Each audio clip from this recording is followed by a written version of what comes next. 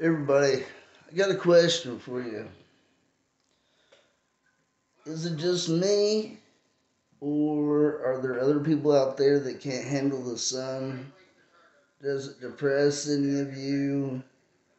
Uh, does it make it where it's not tolerable for you and you've got to do this in your house?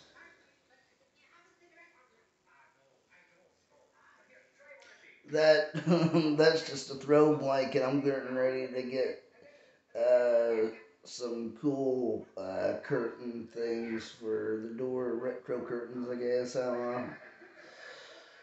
But uh, I was just curious if this is just me. I mean, I can go outside and everything, but it's just wear the sunglasses. I'm fine.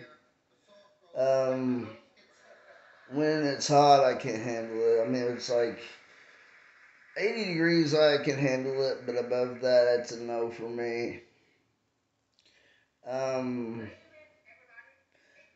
I don't know if it's my manic depression along with my epilepsy or what it could be, but it's just getting worse as I get older. I mean, I'm on antidepressants and everything but it's I don't know. I, I just had a question about it.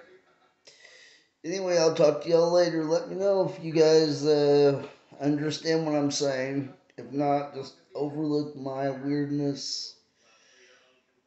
Peace out.